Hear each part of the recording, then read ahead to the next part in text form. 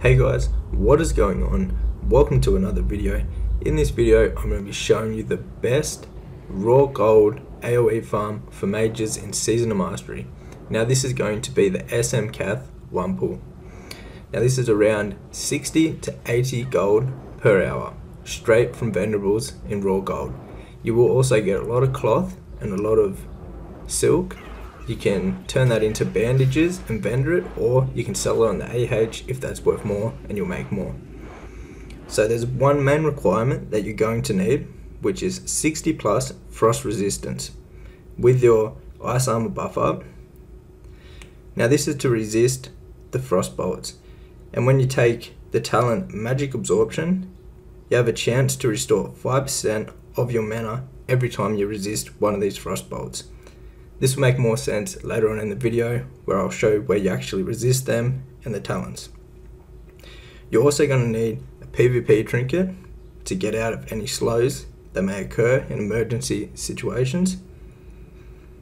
And then now to get your frost resistance, your 60 plus frost resistance, it's pretty easy. There's a lot of items in the game with frost resistance. Um, for example, if you want to go to UBRS and you can farm the, the Frostweave Cape from the beast. This is very easy to farm. Now there's also a really good wand in Undead Stratholme that you can farm. Another easy thing to get is the, the trinket, the Frostwolf trinket from the AV quest line. And then if you don't want to get like farm any of these items for your frost resistance, you could actually just go find a tailorer that has the Brightcloth gear that they've learnt. Now this will all have really good frost resist on it. It doesn't have many other stats, but it's got a lot of resist and it will bump you up to where you need to be. So with ice armor there, as you can see, 66 frost resistance, that's more than enough. Once you pass 60, that is plenty. You can get a bit more and it will help just to make the runs a bit smoother, but 60 plus is the bare minimum. And now, you, now for the stat priorities, you're going to want intellect, your frost resistance, and then stamina. So you're going to want around 3 plus k health and around 4.5k mana. And you should be right to do this. Alright, going on to the talent tree. So what you're going to be running for this SM1 pull is 14 in Arcane, 0 in Fire, and 37 in Frost. Starting off in Arcane, with the most important talent being Magic Absorption. So every time you resist a Frostbolt because of your 60 plus Frost resistance, you'll have a chance to get back 5% mana for each resist. This will basically keep you with unlimited mana. It's a must have for the SM1 pull. Also, we take Arcane Resist for the extra armor, which is very useful in this pull. Now, there's none in fire, and then 37 go into, into frost. Everything except improved frostbolt, frostbite, and winter's chill. You do not want any of them. You don't want frostbite because it will randomly freeze the mobs in places where you don't want them to when you're pulling them in the pull. And of course, you're going to need ice block. This is the main thing to keep you alive for the pull to stack them all up. So this is the talents that you're going to need for this. Alright, so here I'll show you a perfect SM Cath pull and talk you through it.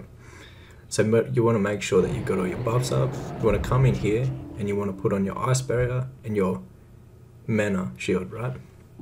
You want to pull this guy with your wand. Once he's in line with the other two just here, you want to arcane explosion all of them, come up to the tunnel and wait. Wait till they all stack so you can nova all of them. Now they're all novaed, you want to either walk around that mage or blink through them so you don't pull that one, not yet. Then you want to run up the stairs, you can either run on either side to avoid pulling aggro of them guys. Some of the time it, there won't be any pats there and you'll be able to just walk up the steps, jump up on the fountain, come up here. Now you want to open the door. The door takes 5 seconds to open. Now while this is happening, the mobs will be coming up behind you, which is perfect. You want to come just in here, wait a little bit for the mobs from behind to catch up. Do an arcane explosion, make sure you have a fresh ice barrier. Run up the side here, on the right side, so you can pull right up to the side. You want to run up, do not pull the boss right here. But they're all after you want to blink out of it, after you've novaed, you want to blink. And then if anyone close to you, want to jump around, cone of cold them, make sure your shields are up. Now here's where you're gonna want to make your make sure you've got your ice barrier and your frost ward up. Now follow exactly where I go, do the jumps that I do. So you want to jump over the corner, you want an arcane explosion, make sure that you're pulling all these mobs. Come down the steps, you want to hug the side here, the right side. Do an arcane explosion just there. Jump through the side. Make sure you've got your frost ward up. You do not want to use blink here, not yet, because you're going to need it really soon. Make sure your ice barriers are up. So do not use your blink yet. You want to wait till you get to the corner as they're catching up to you. Now blink. Keep running up. Keep up your mana shields. So right there, I got frost bolted and slowed. That's where your PvP trinket is going to come in handy. That's where you're going to need to use it. So then you want to keep running up here. Now you're running up to the safe spot right here.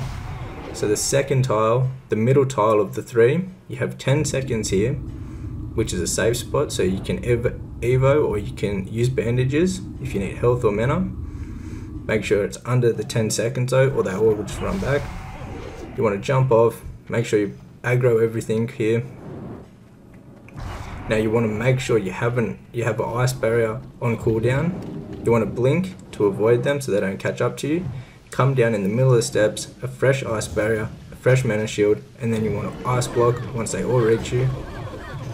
Then you want to wait out your ice block so they all stack up, and then you want to spam Nova. Then you want to blink, and then you want to start doing your AoE. You can start off with the rank 1, and then the rest will be rank 6s, right? and you want to keep up your frost ward while this is happening and you want to also keep up your shields now the mobs you're going to juggle them on this corner so when you jump up and down the fountain they either run up the top if you're on the fountain or they'll run down and around to you if you're down on the ground. So what you do is you want to put your your blizz your blizzard right on the edge of that corner. That L part of the corner is where you want to keep your blizzards. And so if any reach you, they will actually run back and stack with the whole mob in the blizzard. As you can see, because of the talents we have, magic absorption, every time we're resisting one of them frost bolts, we're getting back 5% mana, or we have a chance to. So the mana is no problem, no issue here. After you've got them down pretty low, you can finish them off with your blizzard, or you can come up Arcane Explosion them, finish them off, and now you have all the mages left. So these will still be giving you mana, so what you want to do is use your highest rank Blizzard on them, burn them down, and then that is basically it, you get to looting. So it's a it's a very technical pull if you don't do it right. Like you need to make sure you have a PvP trinket if for the emergency that you get slowed, then you can simply use your PvP trinket and keep on going. But you're going to be making around 60 to 80 gold per hour here. A lot of it is going to be from vendorables, right? Well, all of it's going to be from vendorables. The only things that you maybe are going to sell are your silk and your cloths, right? Because they might go for a bit more on the auction house. Also, some of the gear could be used for like level 39 twinks some of it can sell pretty good. Other than that, you're gonna be just vendoring everything and you'll be making up to 80 gold per hour, which is very good. It's probably the best AoE spot for mages now in Season of Mastery since they've nerfed like Maraudon, every all them other things. This would be the best raw gold farm for a mage AoE in SOM, 100%. Comment down below how much you're making per hour here and if there's any other farms you would like to see. Also, if you want more in-depth gold farms, investments, AOE farms, um, just strategies to make gold in Season Mastery, I have my own gold making guide, which I'll be updating all the way through Season of Mastery, and the updates will be 100% free. So every single new phase, I'll be bringing out new content in the guide that you'll get for free if you've already got it. Anyways, guys, thumbs up the video if you enjoyed it. Subscribe because there's going to be a lot more videos all throughout the year of Season of Mastery about making gold, about Season of Mastery, just everything Season Mastery related. Until the next video, guys, take care and hopefully this helped.